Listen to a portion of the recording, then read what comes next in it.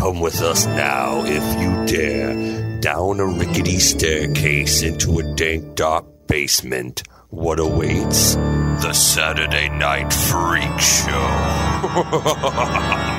Thanks for listening to the Saturday Night Freak Show podcast, a movie review podcast that comes at you every Saturday night, whether you're ready for it or not. And actually, it probably actually shows up early Saturday morning, but whatever.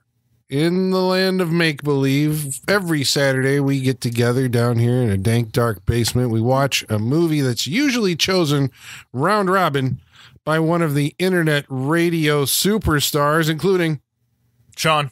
Michaela. and I'm Colin. But this week, we're doing something special because it's the new year. And we watched a movie that was chosen by. You, That's right. You, the listener. dear Brailer. Uh, so, what we did for those of you joining us late, we. Uh, a- through the month of December, we were asking for you to submit uh, movies that we should watch.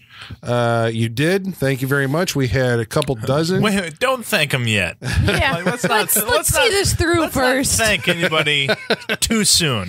Well, thanks for. Well, yeah, but uh, everybody submitted. So Yes, there thank you you. Yeah. well, yeah, So yeah. thank you for we the submissions. appreciate. I'm not going to thank. We appreciate you doing that, so that we wouldn't have to come Well, up maybe with shit of our own. maybe you have something against the voters. That could be different than the submitters. Who knows? But then Maybe. people Yeah. voted, and we are going with the top four vote getters. Right. We're just going to watch them. We're not even going to tell you what they are. Except, you know, obviously you clicked on this episode, so you know. Uh, so tonight's movie was suggested by two listeners, Mm. uh, Brian Putke and the Shirt Twins, which could be that could be three listeners, and that could be a band. I love it. I love Brian it. Putke and the, and the shirt, shirt twins. That is that is definitely. I hope that's a one band. collective Yeah. band. Yeah, I really hope so. Yeah. I love that. Um. so, Detention is a movie from the year 2011. 2011. 2011. Yep. Okay. And it was directed by Joseph Kahn. Who also directed Uh, Torque. Torque. Uh, I never saw Torque. explains I, a lot. I didn't see Torque did. either.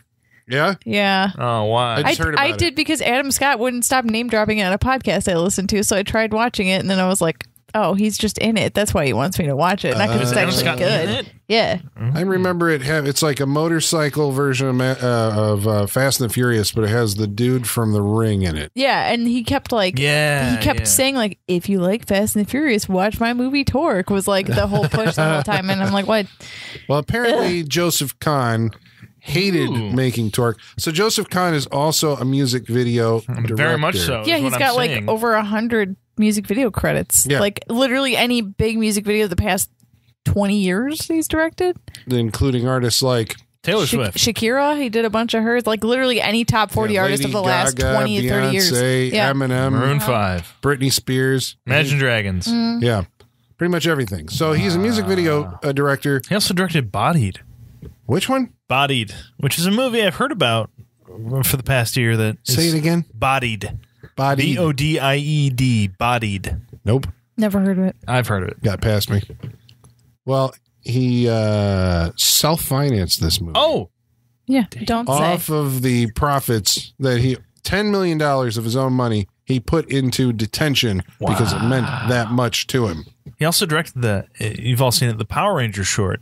Oh, yeah, the oh, famous yeah. Power yeah, Ranger the short. famous yeah. Power Ranger short. Yeah, Oh, with see? Maybe he with- should it stick had, to uh, doing we that. had- Wait, didn't it? It had um, what's his name in it? James Van Der Beek. Oh, yeah, that's right. Right, yeah, it had James yeah. Van Der Beek in Didn't it. it Yeah. also have uh, Katee I- Sackhoff? Yeah, I was Katee gonna say Sackhoff Kara was in it. Thrace from Yeah. Battlestar Galactica. Yeah, Katee yeah, yeah. Sackhoff. Yeah. Yeah, he so this is like directed a. It was like an Ooh. R-rated Yeah. Power It was Rangers awesome. short. Yeah, It really was. I was all for that short. R-rated film, and then they made an actual film, and which was was not nothing bad. like that. Sure, no, but still decently entertaining. Mm-hmm. yeah. Um. So yeah, I mean, But detention. detention. I'm exhausted. I It- mean, Oh, this I'm is so where I'm tired. We just watched the movie, Yep. folks, uh, and uh, And you said he put 10 million of his own in this? Yeah. Uh, it has Passion Project all stank all over Oh it. yeah, yeah, It's- yeah, yeah. Because after the main studio job of Torque, he was like, "Nope, I'm gonna. I'm an artist. I'm gonna go off and Yep. make my art." I'm an artist. Yep. So he says that he. Uh, so the guy, I think, was almost 40 years old when he made this film. Uh, But Okay. because of the uh, his attachment to music culture, he says, you know, that's the thing. He says most people, and this is I actually agree with him. I think most people, uh, you discover what you like musically by like the age of 25 maybe at the max and then you kind of listen to that same stuff or var- variations of it for the rest of your life yeah, I would say when you're like a teenager, you're discovering it all for the first time on your own. Like you're developing your own taste. But yeah, it's pretty much refined and cemented by the time you hit your mid 20s, I I'm, think. I'm cemented in. Well, uh, uh, how old is he? You say he said 40? uh, he was 39 when he made this movie Okay. I think. Or when There's it a lot came of out Can there's a lot of uh, pop, uh, uh, Backstreet Boys, uh, NSYNC. yeah well that's why there's an influence. when Michaela was saying that you know somebody had looked up stuff of the 80 of the 90s I'm like well I know that he was lived through it so how It much of that doesn't stuff feel was like he He lived did a through it, Backstreet though. Boys. He it feels Kelly very Clarkson, surface level. He did Britney Spears, Blink One Eighty Two. yeah so what uh Yep. What's what's the tension all about? Give us a setup for this movie. I Michaela. can't. Well, I you're can't in the fucking hot do it. Seat. Yeah, you I didn't can't- want to let Sean there, so no. You, You know, Right, I so didn't pick this your movie. fault I didn't of pick the this chair. movie. Um, All right, right. You're sitting in the chair. We're gonna blame you for it. this movie is about everything and nothing, and it can't decide what it wants to focus on. Did I? I feel like the description I read of this movie is wildly inaccurate. What was that? Um, that Cinderella, which is this like slasher movie character, is loose in this high school killing people. That's That So is sold a slasher vaguely movie. that what is this maybe is about. three seconds of screen time in this whole movie. Mm-hmm. not a lot. This movie has. I mean, I don't know. I- I mean. I don't even think we could talk maybe about the plot. We're plot. not going Can to be you able to talk distill about the everything. plot We because can't. it Oh, operates like right out of the gate. It is running at like the speed of light. Right. This is hyper. uh What do you call it? not hypersensitive? hyperactive. Hyperactive. Thank It's like you. watching a movie on three speed. Yeah. It's yeah. all the cuts are very fast. The camera is constantly moving. I appreciated actually some of these camera moves because I was, but it's it's mm-hmm. very much of like you know a music video director. He just Yeah. maintains a you know that level of energy Yeah. for what is it like an hour and a half? it felt would say so, like yeah. almost two hours. Oh, it felt like a longer. long. It's got to be like an hour and forty three minutes is what I I'm think going it with is. 82 minutes. I I'm gonna just go- love 82. You do. I'm gonna say hour I'm gonna- I'm gonna. I'm gonna wait, hold on. All right, here we go.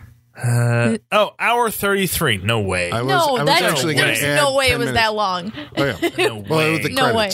Oh my god! oh, it feels so much longer. if it felt way longer than that. longer. Yeah. yes. Oh yeah, it did. Yes.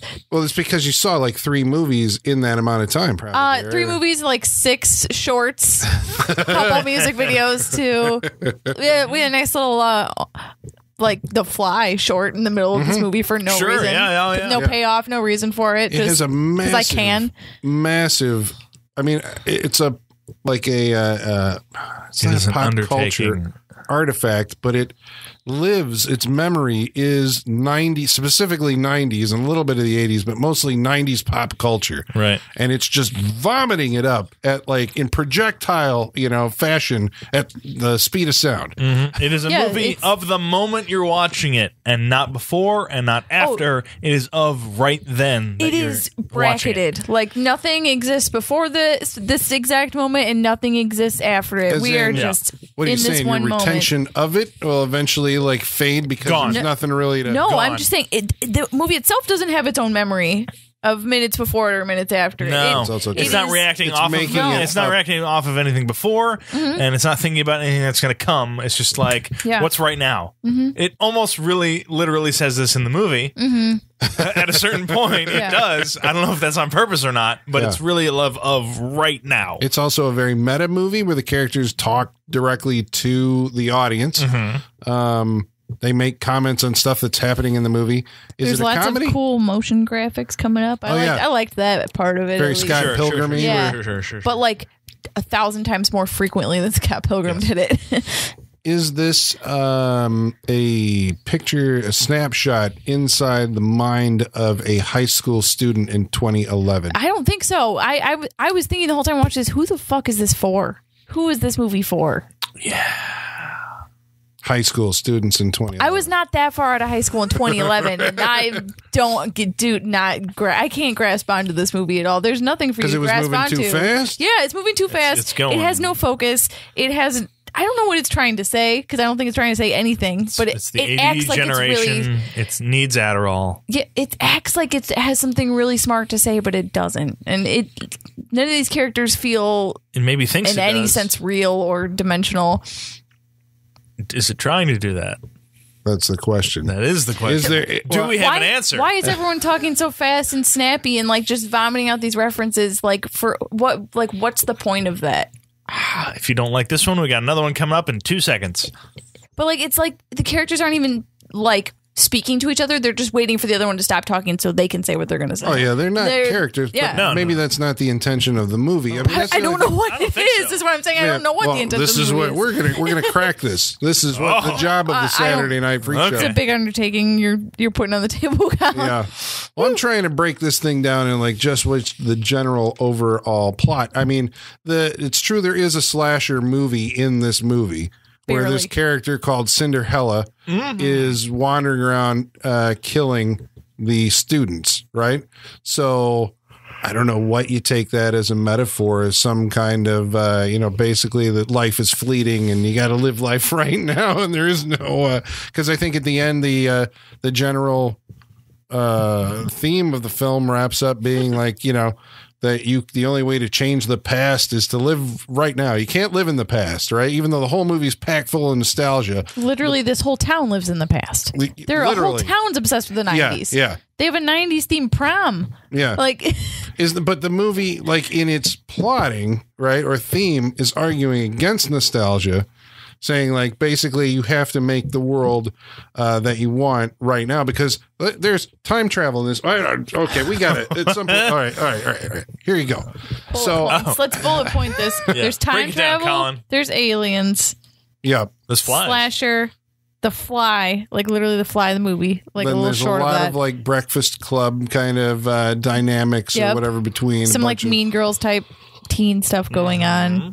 yeah all right but let's focus okay so our main character This movie No, never does. don't we don't us have to to focus. Yeah. Tell them to focus. That's what I'm saying. But we we have to. We are going to focus this movie down and break it down into what it act- in in the sum of its parts.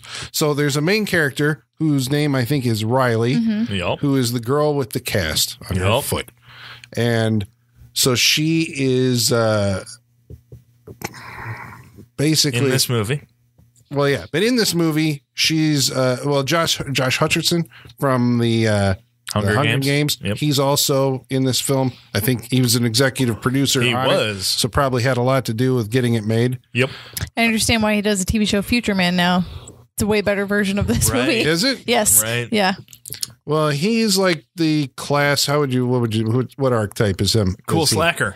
He's the cool slacker. Cool slacker. Yeah. That like everybody likes him. She's the deep girl, right? Who's basically uh, Who lives for a cause. Shows Yeah, as a yeah. cause. She's, the- championing. she's the um from Vegan. community. The community. Uh, a Britta. She's, She's, the Britta. Britta. She's the Britta. Yeah. She's the Britta of this movie. Yep. Yep. At least season one Britta. Yeah. Yeah. yeah, and uh, Uh, Sander. Sander S. Sanders yeah. is the like the the, The geeky incel best friend. nerd. Yeah, the, yeah, basically he's the incel nerd. Yes, that's very true. And so those are basically the three main characters, aside from uh, what the hell was her name? Imogen. No, it was uh, Ione. Ione, yes, Ione. Ione. Yeah. Who I was sitting there the whole time looking at her, going like, "Man, I have seen her She before really. Somewhere." I figured out what it is. She's Kmart in the Resident Evil movies. What? Sure. Okay, Okay. Take your word for it. This Colin's the only one who's uh, actually I think made that journey and Yeah. watching all of Yep. them. all Yeah. of them, Yes. and probably more than once. And those are some bad yes. movies. Mm-hmm. Yeah. Oh yeah. Um. So yeah. Uh, Kmart. What is okay? What is Kmart's I have no purpose idea in why those she- movies? What is she? Why is she Kmart? she's just called Kmart. Why? I don't remember. I don't think there is. It's just like this is my friend Kmart. Like, hey Kmart, and like, hey, and then there's a bunch of shooting, and there's monsters, and then you're oh, on to the Oh, next that's what it says movie. about this movie. It's just Yeah, I don't know who Kmart is. Um, I don't know if I can do it. I don't think I can break this movie down into a mm, plot. I'm trying my my You- you damnedest try, here to like. because if you, You got if off to a you good if start. you're ru- Thread Colin, if you're it. rudderless, then I I don't know where we're going. yeah. You're kept in You the got to steer man. us through this shit. Yeah. Well, what's the uh, the first like major plot point because we see like you know Oh, there's a That girl was at the three years ago, Colin. I don't know if I could tell you. There's a girl at the very beginning of the film who gets up, starts talking at the camera very Oh, yeah. aggressively, you know, and all this. And we think she's going to be the main character. She's explaining basically what it's like to be a teenager right now. And then she gets killed by Cinderella. Then, okay, then you're like, well, But- okay, I guess we're on to the next being person. So inconsequential to the rest of the movie. That's what makes me crazy. but her name Taylor, whatever the fuck her mm-hmm. name is, comes up a lot through the movie. So that's why I'm like, okay, so they the just the idea that she her murder happened. The rest of these kids are aware that this murder happened, but they don't really seem to give a shit. Although yeah. the killer then starts angling toward Riley. I guess what I thought when when when she got killed in the in the very first act that is so quick um is like you know the beginning of the nice guys when the porn star gets murdered in the car accident and like that's the inciting incident for the whole movie? Mm-hmm. kind of what hey I know how movies go so I assume this is going to be the inciting incident for the rest of the movie. Not really. Yeah, not really no. largely inconsequential inconsequential It's basically just Yeah. to set up that there is a killer Yep. killing kids, and to give you a fake out because you know uh, in in this movie's amount of you know screen running time, those first three minutes are basically you know the equivalent of a whole other movie. Mm-hmm. Yes. It just went and squished it down mm-hmm. into But three. that's the three movie I want to see, though. I want to see version? this. this I want to see the slash. Yeah, no, I want to see the slasher movie. That's what I was sold on. I'm The told slower that this version is a. of the first th- three minutes. of the yeah, movie. yeah. It's it's an identifier. It's just like, well, uh, this is what you're going to get for the rest of the movie. Kind of like this is, if not story wise, like uh, uh, structure. This is what it's going to be. It's going to be real quick, and uh, shit's going to happen, and it's just going to be like, whoa, that happened. Yeah, There it is. but it isn't a, really a slasher movie, and no. it kind of flies it's off not. the rails at some point when uh, all of a sudden the uh, high school bully, whatever the tough guy, the jock, yeah, the challenges uh, the uh, you know the Josh Hutcherson character whose name I can't remember, even though they said it like a hundred times. Clapton? Like, Clapton. Clapton. Clapton. Cool kid Get it? Clapton. He likes music, guys. Director really likes music. Did you know? Yeah, Clapton. and uh, he challenges him More to like like a duel. This kid at some point like starts there's this is a movie full of uh, uh tangents and asides and every character has an like uh, whatever the full title that says like the the lonely uh tragic history of this character and you go right. There are and see- titles in this movie. Yep. Title cards. and this kid like uh, was born uh possibly of aliens or something i can't remember he spits up acid blood his shit He got yeah. He's he's got red he's, he's got eyes the and- well. He's got the the Goldblum fly vomit where he's just like I got to break down my food to suck it back up, and he's Mm-hmm. he's got that problem apparently, and wings. And like, it's not a huge amount of real estate that we spend on this, but it like the where it comes in in the movie, just like dis. I can't believe I'm going to say this about this movie. Disrupts the flow for a little disruptive. bit, but like the, this whole movie is disruptive. Well, it's, Is it um, it's all about disrupting its own flow. yeah, when that happens because that's like the thing where you're like what the fuck you know like is this a dream is this the way that is he psychotic and this is the you know because he even says like this is the way i remember my upbringing you're like is this the movie you know taking a little detour or is this actually happening and it breaks up the quote unquote pseudo realism.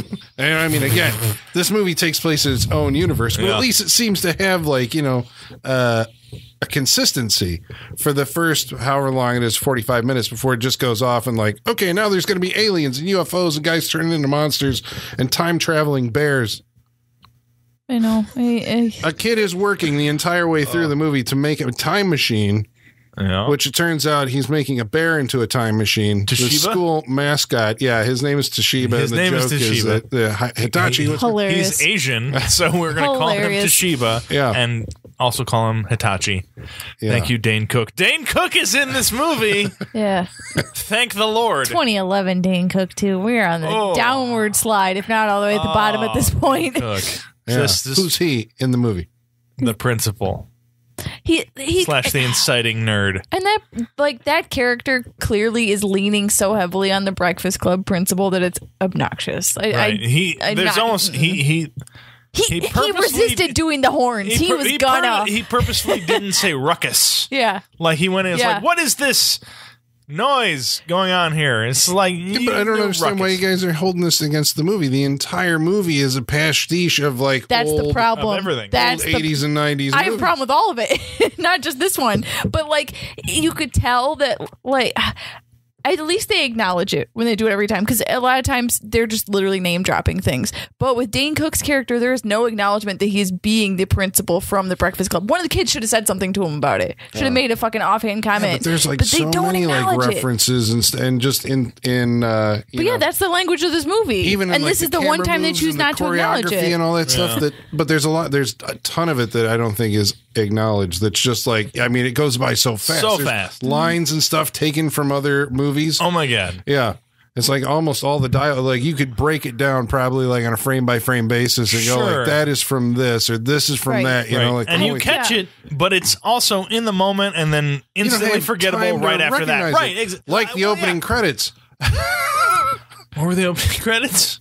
Yeah, they were Oh, it was like me? it was like the stuff in the hallway. Remember, like it was Oh yeah, like yeah, the yeah. All right, Converse yeah, had yeah. his name on right, it. because the- when the first the first one that pops up, I thought was funny Mm-hmm. because uh, uh, Clapton's character skateboards by and on his Converse it says Josh Hutcherson, and I thought that was an isolated incident. So I'm like, oh, that's funny that his Converse say that, but no, it's the start of the credits for this movie where they just keep showing. Mm-hmm. it's very up Napoleon different. Dynamite credits. Yeah, somebody closes a locker and there's stuff, you know, Yeah. credits written on it. Yeah. Uh, somebody Mm-hmm. throws up in There's a a toilet and there's there's- yeah. letters in the toilet. Then Yeah. yeah, and that Yeah. kind of thing. But they all uh, are there on screen for about a half a second Half a second Oh, before boy. the camera cuts away. So it's like, I don't know if the movie is legal. establishing, like, if this is what I worry about, right? Worry, I don't know. I wonder, right? You're going to have to tell me, listener, if this is, uh, if you're a fan of this movie, like, if this is the way that it works. But, like, Uh-huh. is this movie's, uh, um, not attention span, but the, uh, the, the, the velocity that it delivers information to you Mhm. calibrated to a 16 year old's uh, mind.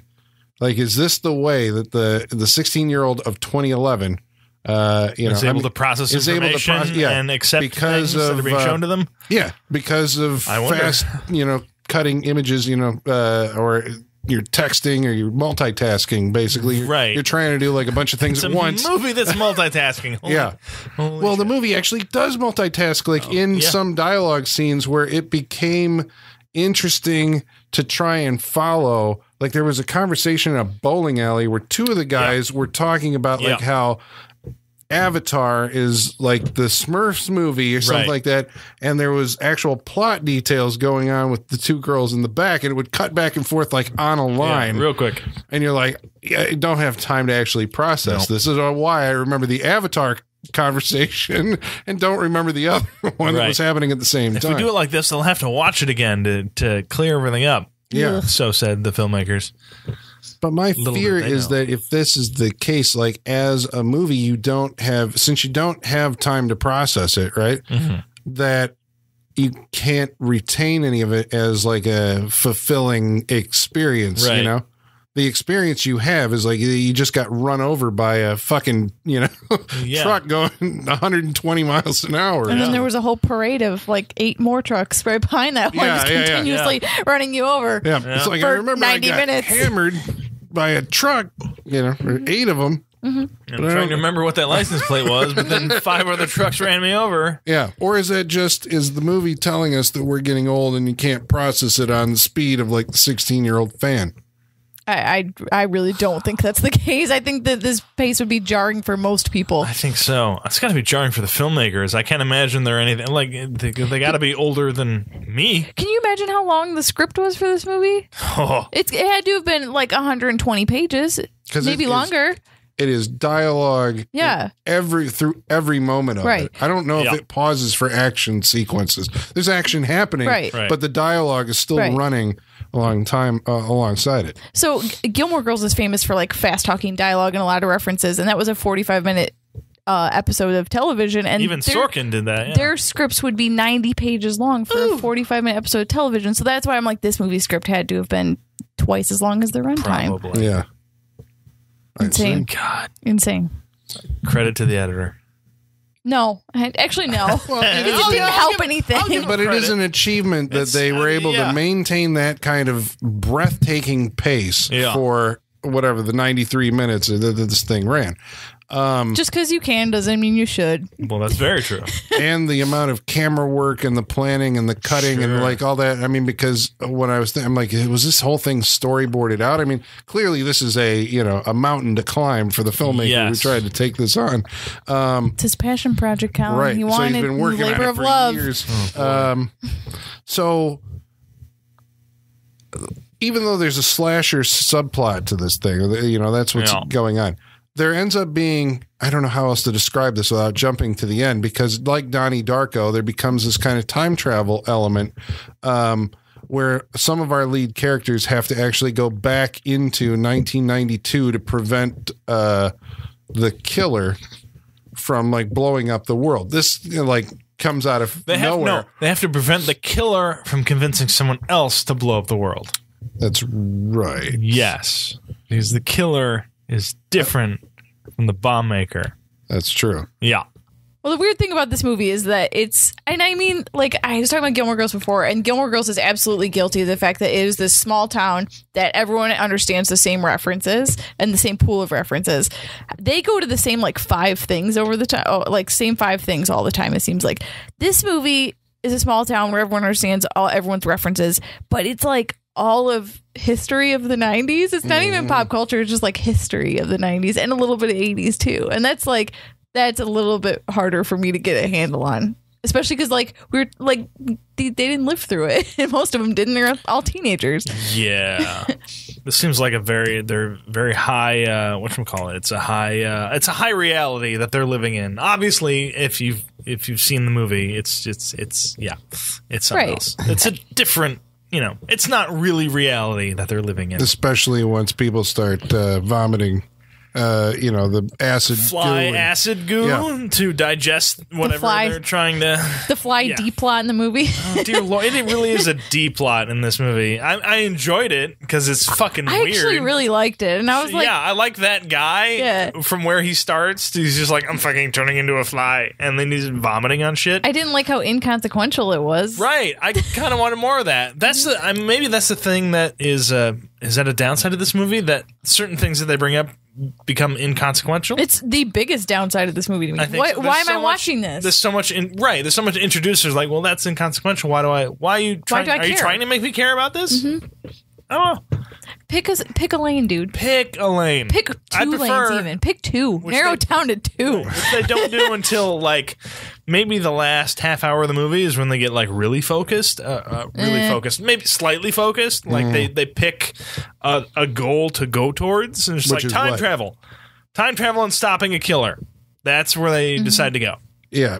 And Well, that's that's as be- when- specific as it gets. when they come up with the idea to blow up the so yeah i mean what you're gonna destroy all time and space and all this other stuff because i mean that's obviously where you're gonna go to in your Sure. big science fiction movie epic so your heroes have to travel back in time to stop it a staple of uh you know 80s fantasy Of films 80s, i yeah, suppose Again, um i forgot where i was going with that. Yeah, why why did they not like there was like one passing reference to Back to the Future made by like a teacher, but like they're like they're doing time travel and not referencing any time travel movies when they're referencing everything else they're doing. I don't know. Maybe that's better for them. Just like, oh yeah, you're referencing maybe so we don't hate them more. I guess, or just like, oh, I don't know they're, if I refer- could they're referencing that. just like, oh yeah, Oh, of course this you is would the one reference that. time we're gonna ease off on references is the movies of the fucking time right, travel. We got a time references. travel. Probably the most referenceable uh, event you Ex- could have in your movie. Yeah. And they're just like, nah, we're not going to do it. No. That's where they showed restraint. Yeah. yeah, in 'cause this was- movie, there- restraint. i don't remember any direct lifts from terminator the time machine or Quantum Leap. was there No, I'm saying they're I'm just naming off Future. time travel things of the yeah that Yeah. time. Well, bravo to them for showing some Sliders. restraint. right Sliders. especially from that period of time Yeah. yeah Sliders. yeah They would though. They dropped Freejack. They would say sliders. I don't know what Freejack is. You don't need guys- to know what Freejack is. It's a Maybe not. terrible movie. It's a movie about a guy who goes back in time and takes over the body of somebody from the past. And that's what free So jacking Quantum is. Leap. Yep. Okay. Uh, yeah, but it also happens in this movie. Uh, do they? Yeah. Okay. With Ione and her mom, Mm-hmm. right. which is some weird play on Freaky Friday. Sure. How did And they get ex- to? Did they decide to do that? Yeah, the mom. It was the mom's idea. But how did they pull that off? Besides deciding to do it, was They that all it took? It was like a real quick thing of her mom was like, "So you're going to do this, and you're going to do this," and it went by so quickly. You could. But how did she like? How did they switch bodies? It's She like- explained it in that really quick Yeah, and she explained. I think that there was How it somebody was working on a time machine, but that would have been the kid in detention. I don't know. See, I- It went so quickly. this is like a big spaghetti bowl of all sorts of different plot many strands threads. Yeah. and film genres all looped together. That, Does that make your movie better if you just put everything The in the bowl? sink? Yeah, just put everything in there. And well, you know, you're you're eating this bowl of spaghetti. I'm going with your metaphor here, and you just pick up a thread and you just you know you suck it up, and then we go with it. Here's my it's question: like that yeah, make but it it's good? it's like it, you grab a fork of all the threads And just shove it in your mouth all it at in So once. we get multiple threads, and we're just like, mmm, some of this is tasty, some of this is fucking. Why is this plastic. in I here? don't know. this needs more parmesan. Oh boy, did some of this need more But parmesan. they have the parmesan. The parmesan comes in there too. It's a whole. Which it's the a full meal. parmesan? I I don't understand why this. So this director has his ten million dollars that he put into this, right? Why not make like a couple smaller films of each one of these things you want to do? Make your smaller slasher movie, make your time travel movie, make your Mean Girls like because body he wants switching this movie. to be some unique. But those could all be so much better Fucking filmed thing. separately. You could have like, and then maybe you get back Why on the fi- studio track. Michaela, and maybe why you know, film them separately when you can have them all in one? why not put them all together? Yeah. He loves spaghetti. He was he was the kid that made the suicide sodas in fucking McDonald's, didn't he? He just like filled the cup up with all of them. He's like, yeah, I'm mixing orange soda and But Coke. doesn't- Fuck you don't you. think that he's actually Dr. Pepper? trying to Yeah. go for like this? If he's aiming for, I mean, I assume right that he's not just making this for himself. Oh, I feel like Ah, he is. Well, Who else is this for? He's making it for, I think, like the teen audience. This is going to become another cult classic for a teen audience who's going to relate to the idea. so do I that- need to show this to teens to see if they get it? Oh, Well, we need to do like a YouTube wanna spin off that- where I we wanna make see teams the watch test. this. We just have to ask. I mean, it was suggested to us. I assume, like, I don't know the uh, ages of the people who did, but I assume that somebody saw this, thought that it like spoke to them. You know, like it's that generation's Donnie Darko, right? Or was Donnie Darko that Yeah. generation's Donnie uh, Darko? No, no, Right, no. no. Donnie Darko It was earlier. is. Earlier. But it was But- a movie that spoke to a generation. I get what you're saying. How but dare you give it this label? How dare you, sir? and so they re, but they Spoke. remember it eight years later and are like, you know what? I still want to hear the Saturday Night Freak Show crew talk about this movie that means so much from my uh, high school. or years. they just they know this will provoke us. Th- this- I think they this wanted could- to We could be us. being gaslit right now. Yeah. It's true. They could be gaslighting us. Yeah. I, I- I think, think that's is what it. they're doing. I think Just like they're they'll have reactions. Sean's gonna yell about this. They will have reactions to this movie, so I'm gonna make them watch it. Yeah. I Yeah. feel is what our audience is. It- doing. because it's insane. It's insane, and maybe they're trying to make us go insane. But in order for Maybe. it to Through with speak the to a movie. generation, wouldn't they have had to go see it? And like I don't this like I don't know what the, Yeah, the run of this see this movie, was, but was this widely available for anyone to see? Like Uh, I think this is uh no. I could see it I could see it hitting a festival circuit and people like booing it and then it like you never hear from it again. Like if you told me that's what happened with this movie, I'd be like, Yeah, I see that. "Mm, no, no, Yeah. not this movie. Like you ever hear about those screenings where like the critics have been watching movies for like days straight and they've just had it and they see one movie that like just irks them and they snap Yeah, and they're just like this is trash and like They're it just gets like booed. Dane Cook. Fuck this movie. Yeah, yeah. I love No. I love when the critics are at their end of their Yeah. rope at the festival circuit and they can't Yeah. take even like the slightest inconvenience in a movie. And that's why they always end up picking something out that's like that one was different. See, I don't know. I can imagine this Oh, this is movie different. made an impression, right, on somebody. Sure. And probably even probably, you know, festival audiences Sure. if you're watching a bunch of stuff. Probably. My you know, I, I think it makes an impression because, you know, uh of its style, its tone, its subject matter. Maybe if you know, I guess I'm an optimist, right? I'm assuming I'm going into it assuming that it's not just talking to the guy who made it. He's making it for like a group of uh, you know Right. for that age group. That's I guess you know the model that I'm going into this uh, You would uh, hope. hypothesis yeah. with. If nothing else, you're hopeful. Yeah. And so they respond to it and so at these uh, film festivals that's why they remember it and so then they have to track it down they're like you got to see this movie detention because there's nothing else like it Right. this is one of the coolest things that i've ever seen in my life Or it's interesting, if nothing else. Yeah, it's the movie that makes like mentions on the movie websites. It's like the shit we read today, and just like we saw this at Fantastic Fest. It's something. Yeah. Like if if nothing else, it caught someone's eye, and I kind of like I it. was so actually I was watch it. surprised to find out that the guy was as old as he was, that he was 39 when he made it because like mm-hmm. I That seems actually about the right age. Oh, see, I feel I thought he would have been a lot younger. Yeah. like contemporaries with the kids in the movie. Okay, okay, Yeah. that's where I'm going Yeah. with. Mm-hmm. Why did you why did you think that though? because like there was an immaturity to this movie that didn't speak like a 39 year old man. Yeah. But that's oh, why Oh, it I feels think- like oh, that's I why think, I, I, I think guess that's the, the that seems like the distance to make something like this. I think It didn't. that it, seems it- like the it- perfect yeah, rate. If he was like it didn't cl- speak with closing in wisdom. on fifty, I'd be like, eh, you shouldn't. This feels like eh, that guy didn't make this movie. But being like thirty nine, ah, it seems about right for this movie Mm-hmm. to me.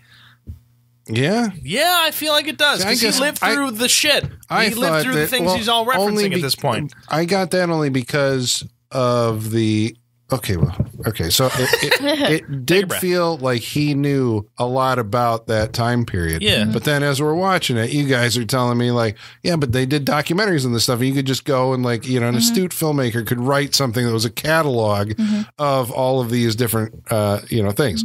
So from the writer's perspective, and I believe he did write and direct this, uh, you know, he's got this long knowledge, right, of all these pop culture references through back f- through 1992 at least and beyond that, right?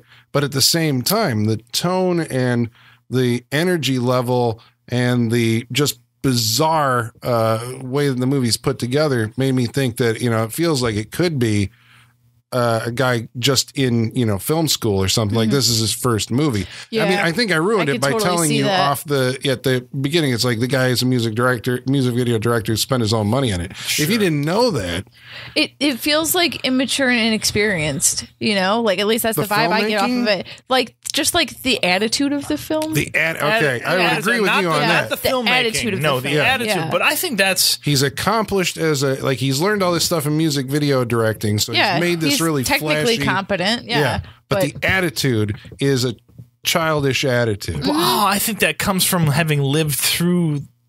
I, this feels like a lived through movie. Like he lived through that stuff. I think there's you can look you can go back and like we said, the, the, they made so many documentaries where you can like uh, uh view what happened through these eras, the maybe late '80s, '90s, definitely up until mm-hmm. 2000s, and you can be educated by that. But I th- this feels like he lived through that. Ah, see, just I because there's like so does. many it, it feels to me only that way because there's so there's so many references So where it's like- many. and i'm not I, I agree that you know you could go and find all of this stuff out on youtube Probably, you can yeah. watch all the documentaries yeah, you that definitely you can. were Yeah. talking about maybe in an alternate timeline but uh But to me, it feels like everything feels like a caricature of that time. Not like that's why it feels inauthentic to me because it's so over the top and it's so frequent and it's so in your face all the time. Like it, it's too much. It feels inauthentic because it feels like a caricature of like ready player one Yes, just like Okay. that. That is a really good parallel oh. for this movie, I think. Oh, I don't know. Because that, but that movie is like crazy inauthentic because it is a bunch of people who never lived through that time. the characters Yeah, the characters in Ready Player One, Right. like the, not even characters, the whole world in Ready Player One has a is is permanently stuck in the eighties, even though it's like forty years in the future from now. even in that regard, that gets complicated because we're looking at a person who made those films who's referencing His own work. everything he also made. Yeah. I think that's also a special case. I don't know if we can reference it that much because Spielberg was like, it's the snake is eating his own tail at that point. Yeah. So I, I, I don't know about that one, but it feels like he's But I mean, at the, the- right it's age. based on a book though that is just like that. Well, that's very true. You But know. he, uh, uh, based on what I know about the movie, I have not seen it, so take that for what you will. But based on what know about the movie and what the book, there is certain things that are changed in it. That yeah, but that general core thing of Sure, where the oh, whole yeah, uh, culture is obsessed with the eighties. That is that is Definitely, exactly the same. Um, but no, I think 39 kind of feels like the right age to look back at a time that you lived through and can remember it. because I fucking lived through the 90s, but I, you know, and I remember certain amounts of it, but I'm also like 39 feels like the perfect time to look back and remember the 90s because I'm fucking 32 and like I lived through it, but I don't remember a lot mm-hmm. about it. So I don't know. I feel like he's the right age to look back at it and say something about it. So it feels like a lived through thing to me, and that may just be me. But it's also strange that the theme of the movie then does seem to be by the end of it, you know, you have one character who's going back in time to try and destroy the past. Yep. The entire town, apparently, eh, all the characters in the movie, or at least the majority of them, reference and you know lean on the past. They all have access, I suppose, to the the '90s is very much part of the present. Like the, the memory of the '90s is still very much part of their present world. Their whole 2011. promise '90s theme. Right. There But are a the lot idea- of overalls worn in this movie. But the idea of the movie, even in the plotting, right? So maybe the theme and all this, and it, it is spoken by uh, Riley. I think by the time we get to the end, is that uh, you basically have to, in order to live the best now, you have to forget the past. You have to blow it up. You know, you Well, have it's to. also said by Clapton as well. okay, well, one of them or both of them say you know Yeah. something to that effect. So It feels like the, message of the, the movie. Yeah, but so uh, the theme of the movie is like That's- the ugh, I anti. hate the- that. Like the movie is like we're going to be this '90s time capsule of remembering all this stuff. This is me as a filmmaker, right? The writer, what's his name, Yeah. uh, putting all of this stuff into it. Beating my- you over the head with it. And then my argument to you by the end of the movie is that you Forget shouldn't that. be like me. You should jettison all of this, you know, this nostalgia. that you stupid. have. I hate it. I hate that. Uh. Don't waste my time. Get to the point quicker.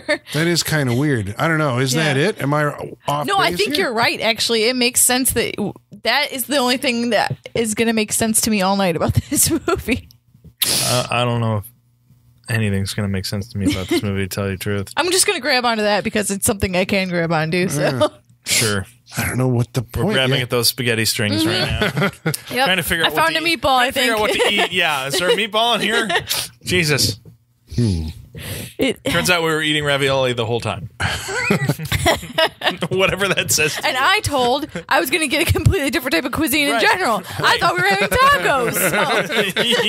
So. exactly. Yeah. And there came you go. here expecting Mexican That's food. This movie. Thought we were eating tacos, folks. Sorry. It's You very- told us we were eating tacos, Mm-hmm. uh, dear Brailer. Yeah, it'd be like if this guy invited me over for dinner. I was like, "It's Taco Tuesday," and I'm like, "All right, let's do this." And they come over and he puts down a fucking big messy bowl of spaghetti. That's what happened. Well, okay. So conversely, how would you pitch this movie to some like? Okay, so you're you're in the marketing department Okay. at uh, Samuel Goldwyn or Sony Pictures, or whoever put this out, and uh, you got to pitch this movie to make me want to oh, see Oh, I it. saw this movie. You- You, should buy it because here's the pitch.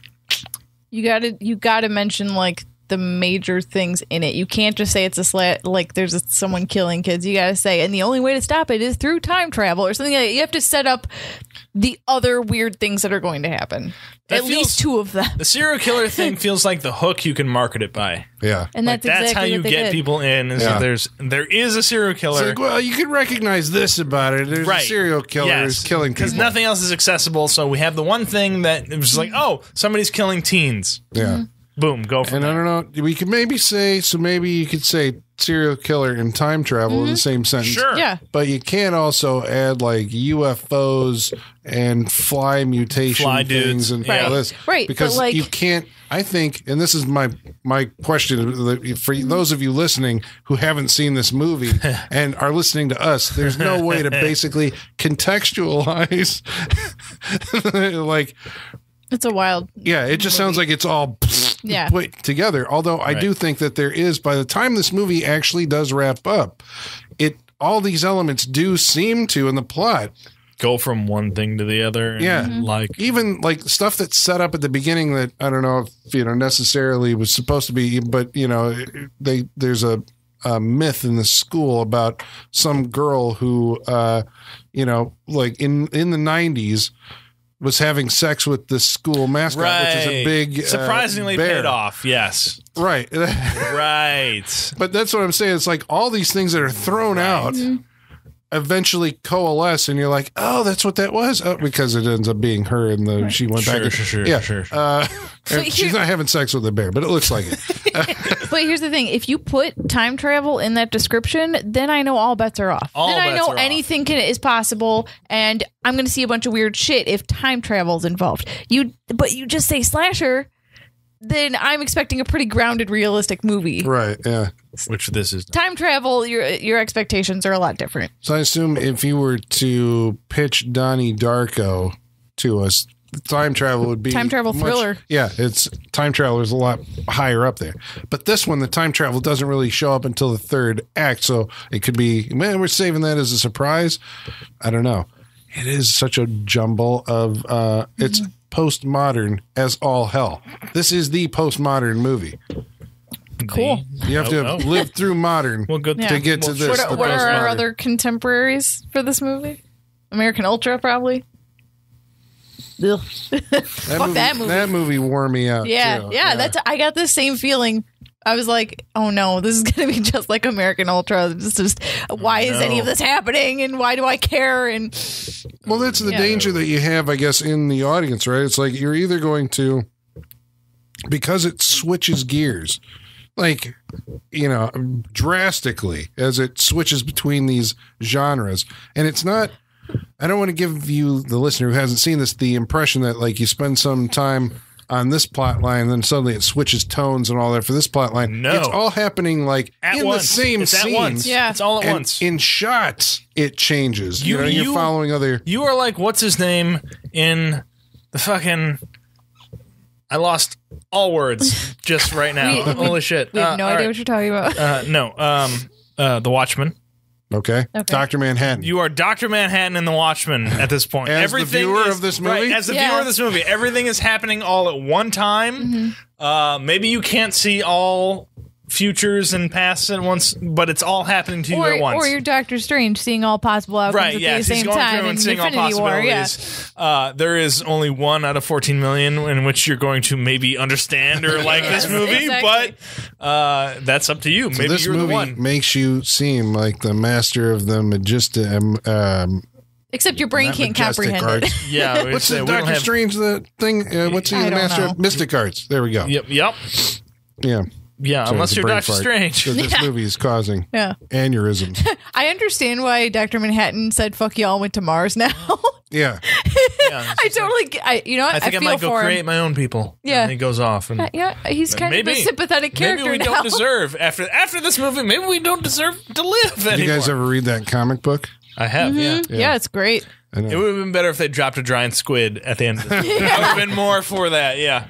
I would have been like, hey, at least it's a monster movie now. Ah, you know? yeah. At least everyone dies at the end. This is a weird sidebar then in a, sh- in a I show where can't we're talking imagine about it's any detention. weirder. But in the uh, talking about time travel, the scene in uh, in Watchmen where Doctor Manhattan like relives his past. Did Hmm. you get the impression in the movie that that was a flashback or it was actually happening in real time? Flashback. in the Because in the way he talks, he voiceovers over that. So I was like, it's flashback. Oh, I don't He's telling someone the story. Oh, I was all right. I don't remember. I when it comes to Doctor Manhattan, I, I if he's going back and flashing back to it, I imagine he's doing it at that moment. Yeah. So that was the thing that, that blew. That was one of those moments that like blew my mind when I Oh, read yeah, the no, I thing. never Yeah, really I- was about that, that. his past, present, present, future? Yeah, no, is I the same, imagine if he goes the back comic to it, communicates They do that better, better, than the movie does, where it's like, yeah, I'm telling the mm-hmm. story, and this is what happened in the past. Oh, now I imagine if he's telling something in the past, he's he's even if he is telling someone that story, that he goes there. Yeah, because it's always imagine, first person. right? I imagine mm-hmm. he's always there. It's 12, doing it. 17, Yes. and I'm here, and this right is the because action even that's in front we, of me. I think whether we believe it or not, he's there. Yeah. Mm-hmm. Like uh, that's how he explains it. He's in them all the What a time. cool character. I, I really like that story. I love Watchmen. Ah, Better so- stories. Yeah, of I'm just time like, travel. man, you know, like I'm thinking about the Watchmen movie now, and I'm like, yeah, not that bad compared to like what Have other you things you seen could be watching. The ultimate edition. I have not the seen Ultimate f- Edition. I have, I not have- seen the full thing. I, I won it in bar trivia. I got the Ultimate Edition. It comes with the hardcover uh, graphic novel. It flips open, has like a lenticular case. It takes up a fuck ton of shelf space, Very nice. but it's it's pretty cool. Is and it has the Does it uh, cut oh, what's the with- comics? Tales of the Yeah. Black, the Black Freighter. Freighter? Does, there's also one that comes it? with Tales from the Under the Hood. Mm-hmm. That comes in there too. Tales- like that Yeah, was but I don't, I don't think the they put that. They don't put that That's more interesting to me than the Black Freighter stuff. I know the Black Fighter relates more to like the actual story of man of that going on, but I like Tales from Under the Hood. Mm-hmm. This one is very good. So there's that. Falling back in love with the Watchmen Yeah. again. So there's the Watchmen. Should we pull the ripcord on this? I this? think and, uh, so. okay. I think uh, yeah, we're definitely bailing on this one and floating back to Earth. This movie may have uh, required some time for us to digest it before we talked about it. Yeah, so don't write us your angry letters saying Right, how yeah. we're We may idiots and we feel don't different understand it because A you know week from now, you know you have no. We should should we start a new segment where we're just like update corner of the movie we watched the week previous and how Nah. we feel about it? Yeah, because Because sometimes, sometimes, I that feel way different. Well, wait, before you tune out, we want what? to So you guys can all recommend the Wraith now? yeah, the Wraith. Yeah, we're coming back around on the Wraith. Oh, bitterness! I'm I stand by that movie. Just it's like a movie that lives better in your in your memory. it Probably than does. if I watched it again, I'd be like, oh yeah, this kind of sucks. But right now, in my memory, It's a cool it. movie. I want to watch it. Uh, so, cool. but we are going to listen. Uh, we're going to read some of your mail, and then we're going to go around the room and talk about uh, detention, what it meant to each one of us. Uh, I keep Before forgetting what we- this movie's called. I know Detention. the title's Detention. Okay. stupid. it's because the title was like right up front, no logos, no nothing. It's like bam, detention. yeah. Oh. All right, so uh, I guess to do this, we should probably summon our mailman, Igor. Bring us the mail. Masters, masters, the mail. I've got the mail. So many letters. Our followers are rising, rising. Thank you, Igor. He looks completely bewildered. He he must he must have caught a few Yeah, seconds of just this like, movie. Uh, uh, uh. He- And then a minute later, he comes shooting out of the middle of a magnetic uh, time travel bear, Bear. Oh, do we ma- get? mascot. Is it a wait? Is it He a younger his own- or older Igor? is it 1992 Does he have a Igor? message- 1992 Igor. Does he have He's more got a hair? Discman. Oh, he's got. A, yeah, he's got the Walkman and everything. Is that 1992? 1992? I'm sure. Mm-hmm. Right? Yeah. Yeah, Walkman This is before the tape. yeah. Or after the mm-hmm. tape. There Tape was was tape. 80s. I had a tape one in '96. When did? Or, or I have. To, uh, there's only one uh, thing I can relate having a Discman to, and it's when did uh, Seal's uh, "Kiss from a Rose" come out? Well, that was like 94. That was Okay, because I know I forever. All right, because I know I had a CD player then, so that's where I. That's my milestone on which I base when I had a CD player on. I'll have to show you guys. My mom has this winter coat from when I was in middle school, still for whatever reason, and the inside pocket, the inside of the Big jacket enough? has a pocket specifically, Specifically made, made? for a s- portable CD. player. Remember when they did that? it's like, oh, a pocket for your CD player. But it even has like a so it has like a a thing that goes over to close the pocket, right? But then it uh-huh. has a little like perforated hole that you can stream Oh, your yeah. headphones. See, through. now that's Nice. cool. Then perfect design what you specifically need- for that. is one that actually you can, that's got the headphones like built into the Yeah. lining. Do you- right, and It it, actually comes out the comes hoodie the hoodie string. Yeah, Yeah. So then yeah, you just, exactly. And then it's got a little pluggy plug into your. and then you can player. plug in the hoodie strings to Yeah. your ears. When I I- remember those. When I was in middle Oh, middle those school, exist? no, people used to serious? string it through the hoodie themselves. Yeah. When I was in middle school, we used Yeah, I to thought pay a they- kid to do that. Yeah. no, I thought you Colin. did it at some yourself. point, they made them. You plug it in, and then you take your hoodie strings and plug them into your ears, and those are your headphones. I think That's actually- a thing that Future is exists. now. I may have actually invented that when I time traveled back to I can 1989. prove that you didn't invent it because you are still here. Ione invented guacamole somehow. Guac. Guac. No, no, She just Didn't shortened invent the word. Just shorten the word. That was so fucking Just stupid. invented a word. You can't monetize. I'm here monetize right now. Sean. Time travel, you can be wherever. The- time travel doesn't exist, Colin. You want to get into How this you know? argument? Doesn't exist. Yeah, we, Doesn't yeah, we haven't started loopering yet. Yeah. So Uh, okay, so about uh, our movie Detention. Oh, yeah, we should probably tell people how they can get a hold of us on uh, the Facebooks, Facebook.com slash Saturday Night Freak Show. by the Twitters, at Sat Freak Show. by the emails, Saturday Night Freak Show at yahoo.com. and the Instagrams at Saturday Night Freak Show. Andrew John writes in about the movie Detention and says, This movie is insane. Yep. Mark Harrison writes in and says, This movie is something else. It- these are all accurate so far. Yep. Chris Keenan writes in and says, This is one of Detention is one of the weirdest movies you'll ever see. And I know that's saying something, seeing that you guys have seen some weird shit. In my opinion, it borders on Buckaroo Banzai slash incomprehensible at times. And then this ending hits and it's almost wrapped up in a beautiful bow, and almost everything is paid off perfectly. Yeah. I mean, That I wish I would have read that before I watched this movie because I feel like that would have put me in a better space. Yeah. Okay. Uh, yeah. Uh, Robin Linneman Silverberg says Detention is a slasher movie involving a serial killer, UFOs, body swapping, a riff on Better Off Dead, Breakfast Club, and Dirty Dancing homages, Steven Seagal versus Patrick Swayze fight, callbacks to Mean Girls, Clueless, and Donnie Darko, and a time traveling alien grizzly bear. What more could you ask for? Question mark. Question mark. It sounds so much cooler when you say it like right. that. That It sounds that sounds awesome. yeah. Uh, that's right. I forgot that the Canadian vegetable people actually. Okay, never mind. Um, the Canadian guy. I like him Oh, also. oh, the Canadian guy. We didn't yeah. even mention. I, I kind of like the Canadian Yeah, guy actually. Canadian guy. Gord, I love Gord. why he wasn't why he wasn't Gordo, which feels more like mm. Canadian, but whatever. Gord, I like Gord. Yeah, I'm down for Gordon. and his His whole debate scene, Oh, yeah. debate scene was Great. awesome. his Absolutely defense great. of uh, Yeah. meat eating. Bravo. Bravo, That was fantastic. Why do people hate chickens? Because they blow them into little pieces and serve them as chicken Popcorn nuggets. chicken. I only Oh. eat young meat. you don't eat cow nuggets. That was that oh, was it's great. wonderful. Absolutely Uh-huh. wonderful. Uh, about last, uh, sorry, last week you listened to our best of the year uh, episode, but before that we did one on New Year's Evil. And Amos Martinez writes in and says, "I don't understand why this movie never got a sequel. I mean, it's a bad movie, but I think it's a fun bad movie. Yeah, why are we not following the creepy son? We all agreed. yeah. you mean, know, come on. he had a lot of things going on. Yeah, What was, what he was kills that? her at the end, right? Uh, Eighty. 80? Oh, there's there's a whole decade in which we could have got a sequel to that, which Yeah. would have Yeah. Oh, come on. I want should to. have been I a want to see his journey with his Evil mental illness. again. yeah. Uh, New Year's Novatu, Eviler. Eviler. Yeah. Mm. Um, Novatu Judoka says, I Mr. Watched Jersey. New Year's Evil since you guys were watching it. I feel I would have liked it more if I had not guessed the twist at the end 15 minutes into watching the movie. Oh, bravo. wow, you, good sir. for you. We, Bravo, you were bravo. way ahead of all of us. Yeah, I was not there with that one. That's why I said hashtag be like Sean. uh, I'm sure I'll take that. That's fine. Um, Be like me. all right, so now we're going to try and compose ourselves. After Deep breaths. watching Woosah. detention, and we're going to go around the room and tell you what we thought of the movie. Colin. With- Colin, what did you think about uh, this movie we watched tonight called Detention? And does it deserve that name? Go.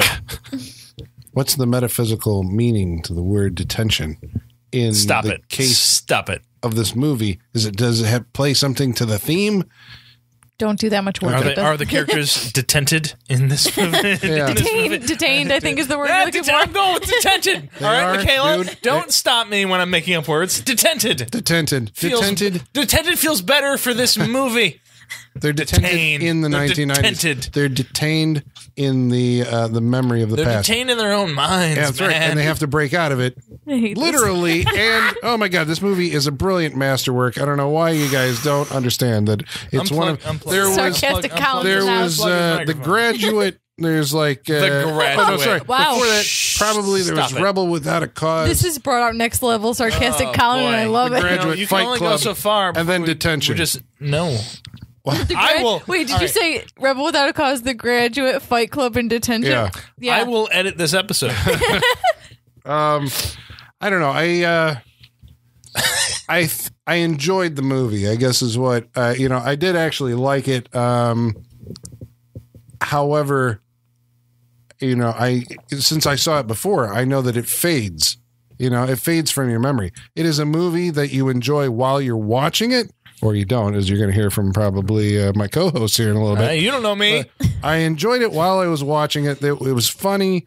It was a it was a very alive movie. You know, I mean, I guess that's the thing about it. It does kind of feel like a singular beast. I mean, we're we're comparing it to other movies and it's referencing other movies, but I have never actually seen one put together like this one. And you know, while I was along for the ride, uh, it was entertaining. I was more entertained. I was never bored. You know, I mean, I guess that's the thing. I didn't check out of it to the point where I was bored That is the big Um, sin. although I think Sean's probably right there. Somewhere around the detention scene which is when the third act plot actually en- engages. Uh, I think maybe if it had gone too much past that, then I would have started to lose it. Um, but that was when it actually like started coalescing. I'm like, okay, we're heading toward an ending. Um, it's not a perfect movie, obviously, and its plot and its structure. It's trying to do something uh, that's different. Maybe it's trying to make a comment on uh, teenage culture and the speed at which information is, you know, being processed now, and the the access to uh, like a digital memory that that kids have today. Um, We'll never know. We'll never, yeah, we'll never know. Um, but it kind of, uh, I don't know. I, I enjoyed, like I said, the experience of watching it, but I think as a film, you're going to, I'm gonna, I'm gonna lose it again, you know, because there's no dramatic weight to it. It's all kind of, um, it's not like cotton candy, but you know what I'm saying. It's like ephemeral. It melts away. Or you could say cotton, The- cotton candy is a yeah. good way to describe it. Yeah, yeah. just like ah, the- yeah, Sounds really cool in theory. right. And you can eat a lot of it, but it's just going to evaporate in your mouth. yeah. Yeah, Kind of like the carbs of the spaghetti too. You eat spaghetti, and a couple I'm, hours later, you're I'm glad starving you came again. back to it because I'm think totally we're coming back really to the, hungry, aren't I'm we? totally coming back to the spaghetti in my wrap up. Yeah. So I think uh, ultimately, surprisingly, I would recommend uh, that you see detention uh, just to see if it's your thing or not. I mean, it's uh, it's a wild ride. It uh, yeah, I don't know what else. You sound really enthusiastic about your recommend there, Colin. How enthusiastic I I mean, it's an exhausting experience. Sure. Yeah. I mean, I, even and then talking about it is also exhausting. You know, just Yeah. trying to like put it all together again. It is it's designed to be absorbed or not even absorbed. It passes right through your brain to the uh, you know, it's a visual oral it's an experience. Uh, I imagine that you know if you watched it over and over again, and maybe some of you have that Oh, how you can pick you. out the yeah. But I think a lot of stuff like checks out in little visual sight gags that are happening sure, sure, sure. as characters move off to the side and stuff that's going on in the background because there were a couple I caught toward the end that I couldn't even tell you what they are now, but I was like, oh shit, they just paid this off that happened you know, like 20 minutes ago. So, uh, and that tells me that like there was some care given to it by the filmmaker. It's not just slapdashed. Everything that's in there, I think, you know, is there for a reason. So this is a very specific uh, thing that he's doing. So um, yeah, I don't know. I say uh, check out Detention. Sean, what do you think? I think you're right. It doesn't. It's definitely not slapdash. Uh, I think there is, um, if if only clear to the filmmakers of this movie, there is definitely a purpose to everything they're doing in this movie. Um, it comes at you so very fast in this movie, and it's. I I don't know. I had thoughts before you said the slapdash thing, and now I forgot them all. Oh, I thought it was the spaghetti theory. It, well, well I, I I said that, and I was actually not going to come back to the spaghetti thing. Um, it's it's too, I don't know, it's too much. I, Ah, it's hard. I don't think I can. I, I I can't I can't do it because there's not.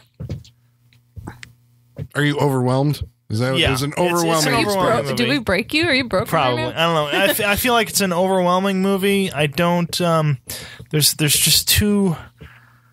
Uh, there's just too much to it. I don't think there's enough. It's not uh, satisfying at any point. Um, I don't. I don't. I don't think I. I can't recommend it because it is. I remember it now. It's it is a movie of. It's a movie of the exact moment you're watching it like right in that very second and that's the i think the only time you can totally appreciate it but like i'm out of that now and so i i can't i can't recommend it because there's it does a few things like pretty good like there's i was entertained by the movie like you said not boring at all i was entertained you but were hating on the movie though. Like while we were watching. Yeah, you were. oh So, yeah no I mean, I I just- but but i Yeah. uh, Did I you mean, what- enjoy the experience of watching the movie?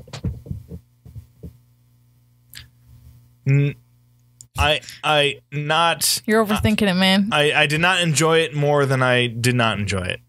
Got that? Wait, did he he did not enjoy Did it more, more than he than did I- not enjoy it. I did not enjoy it more than I enjoyed it. Okay. Yeah. Um. All right. It. I'll. I'll it's a. It's a movie. that, that sounds positive. right. It, it's not. No, it's not. It's the opposite. I did not enjoy it more than I didn't enjoy it. Yeah. Uh, All right. Start over. It is. It is a movie. Um. Of the moment you're watching it. Now. It, as entertaining as it may be in that moment, sure.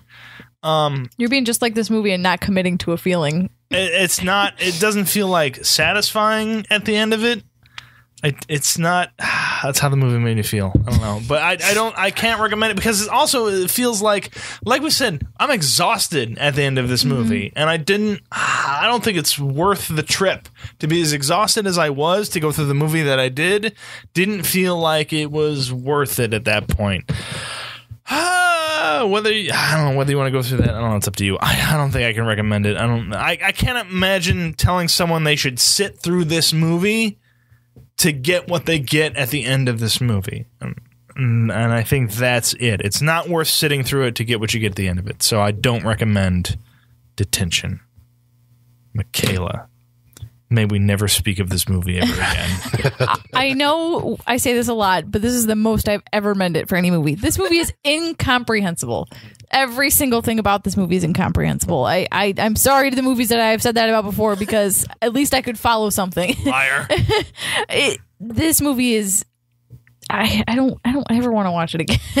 I really oh no, don't. I will never, It's never watch this again. it's exhausting and it's not even the exhaustion isn't worth any of the payoffs like there's, there's it's it doesn't deliver 100% on any of the stories it's trying to tell in a way that's satisfying for me um th- the the famous passion project strikes again. Like this this dude's love might be you know this might be his favorite thing he's ever done but you know hollywood's not isn't knocking for a reason. I think that there like I really wish he just would have divided up his 10 million dollars into a bunch of smaller movies of these stories he wanted to tell because I think that could have just make one slasher, make one time travel movie, make one teen teen drama, teen comedy, teen black comedy, whatever you want to make it. Um there's nothing to grab onto. There's nothing to kind of write yourself or ground yourself in this world. Everything feels fake and fabricated and is just like a a construction of um furthering the story like everything seems like it exists just to keep you moving forward and none of it really matters and i just i don't understand the point of this movie i don't understand what he's trying to say i don't understand what i'm supposed to take away from this other than i i've never seen anything like that before which isn't a great thing to say about a movie usually um so yeah i, I can't recommend it i can't i can't imagine anyone i would know that would enjoy watching this movie like I think at first they might enjoy it, but once they got to the end, I don't think that they would enjoy it. So no, hard hard pass. Yeah, Curious. everyone- everyone's coming out exhausted at the end of this I'm curious. What did you guys think? I don't know why this suddenly came in. What would you think of Scott Pilgrim versus the World? Oh, we've talked about. Uh, we got asked one time like, what movies do we hate that everyone else loves, and that's mine. I hate Scott I Pilgrim. hate Scott Pilgrim. that movie. I I really like Scott Pilgrim, yeah, Yep, hate I it. really do. Hate it. but it, but it's also You Hate the pace of that a movie more. too. It's a slower, clearer narrative than this movie. mm. I, I get what you're saying, but like there's uh, Mm-hmm. and again there's a there's a lot more to that. well, that's why I'm kind of surprised. That I I would prefer this one over Scott Pilgrim versus. You the prefer World. this one over Scott Pilgrim? I Pilgrim? hate that. I hate that movie. I hate. I, yeah, I, hate I did both. not hate this movie. yeah. Wow. yeah, I know. That's why I'm like, but Wow. why? Why? I'm yeah, gonna- I'll have to work on that one. Yeah, I, don't think, so. that's a- I'm yeah. confounded. Yeah, do some we are, we're gonna, introspection. this conversation is going to happen off mic. Yeah. I think. Unless, hey. unless you vote for Scott Pilgrim within the next uh within the next Oh, you can't anymore. You're That's done. right. We picked him. Uh, yeah, we your also want to give a special shout out. Sorry we waited this long uh, to the end of the show. I meant to say this earlier, Mm, but uh, so we keep on talking about like you know we've got the uh, the wall of fame is uh, you know whenever a actor or sometimes a director uh, has been featured on one of our film uh, one of our episodes more than three times or Right. three times is the magic number. Hopefully predominantly, but yes. If you've been on the show three times, actors and directors, uh, we'll put you on the Wall of Fame. And until today, It's very special. The Sylvester Stallone Wall of Fame. the, yeah. it- the, the, the, The band should be we named found out there's someone. people gaining on him. Uh, he's on the I'll wall keep him ahead. Don't worry. seven times. You know how we know that? Because a listener, Somebody did the work. Jason Madsack, actually went. So it used to be like Bravo. figurative wall. Thank you. But he actually went and tracked down every movie that we've watched and every person who has been on this wall where we made discoveries about people we didn't know were on the wall. Like we were talking about Richard Moll Yeah. on uh Mm-hmm. what episode was it that he was I wasn't chopping mall. It was uh what was he just on? We He was in uh, oh uh, sidekicks. in sidekicks. He was in Sidekicks. And we're like, yeah, he's just about to be on the wall. That guy has been on like four movies or something like that that we've done. Yeah. And we found we keep on saying that Sylvester Stallone, you know, is the he built the wall. He's on Yeah. top of the wall because Michaela climbing keeps the wall. He's hanging picking from the his wall. uh, his movies. It turns out, yes, indeed, he has been featured on seven films that we've uh, that we've done. But it was interesting to go through it and see, you know, uh, and discover, you know, all these folks who were like, oh shit. Minor bit players that you know, like the guy from Intruder or whatever, who's been on three Sam Raimi movies. Like, oh, well, he's on the wall. So Yeah, now we this is- actually have a document. Yeah, this is the quantity over quality uh, uh, Hall of Fame wall Oh, yeah, that we're yeah, talking about. By the way, Yeah. this is just if they're in the movie. Like Yeah. Paul Paul Dooley. I would be a little more discerning, but again, I don't know. These there's this seems pretty legit. Like but like I mean, he Paul did Dooley include there. Renee Estevez. Paul Dooley Yeah. has been in uh oh Strange Brew, which we did, Monster in the Closet, and My Boyfriend's Back. Who else would have put that together? I know uh, we have amazing fans. Only Mr. Madsack. Yeah. So thank you so much for your hard work. This like really means a lot. We've been flipping through. Yes, it flipping is through here. It, It and, is yeah, we have a here physical to keep copy. track of. we so should leather you. bound it. You Thank know, make it like a nice. You, know, like go ahead. Well, no, what we're going to do is we're going to take a tack and we're going to put, Put it on the wall. right. Boom. It's going to go on a clipboard and we're going to put it on a nail. But this is seriously, guys. The amount of work that went into this is it has to be insane. Yeah, it Because takes like a little research. I mean, appreciate it. when I when I pick a movie, I'll look, I'll do like a brief like mental scroll through Right. and be like, uh, does this put this person on the wall? And like that's the most I put into Let's put it. it this so way. I'm not going to do the research. yeah, I don't think Colin is per se. I would if I had the time. I Yeah. would have. Sure. probably- But yeah, I, I have the time. I'm not going to do it. So thank you. but now now I have a reference of who Now I we need have to, to keep watch this out for, updated. so I Yeah. can keep Stallone at the top. So I need to like highlight who's gaining on that's him. right because So- Dick Miller is right behind him. There's like there's several people I think. Oh, yeah. at six. Dick Miller is good. Um, all right, so next week we are continuing the Ah. month of viewer choice, a listener choice. It should have been. I did. I put viewer, Viewer, choice on Brailer. that. Yeah, Hey, feels like they're viewers. Um. So anyway, we're watching a movie that was chosen uh, By you. by you, and it is You. What are we watching next week? Super Mario Brothers. Damn it! This saves, like I said before, this saves me from having to bring it myself. oh wow. Because I probably would have at some point. Okay, this is I think of the four movies. This is the one I have not seen. You have not Really? seen this? No, I haven't seen Oh Super my Mario God. Brothers. Yeah, I missed the whole like Super Nintendo era. Really? This, Yeah. this movie has is nothing to do with like like Not it. nothing to do. Oh, with okay, it. so you're saying four Except for that it uses Nintendo guns in it. Oh, it's It's- gonna be it- so fun. it's nothing like the you know, yeah. We'll All get right, into so it. for It's- reference, I don't have to actually go back and play. No. No, No, if no, anything, not that will at all. confuse you and make it a Yeah, worse experience. No, no, no. It's gonna be. There's two great. plumbers. There's a King Koopa. That's probably it. They Stop will, right there. They will include everything you need to know from the movie, which is not much. I can't wait. It's a bomb. I am looking forward to this next week, right here on the Saturday Night Freak Show podcast. And until then, ladies and germs, the basement is going dark.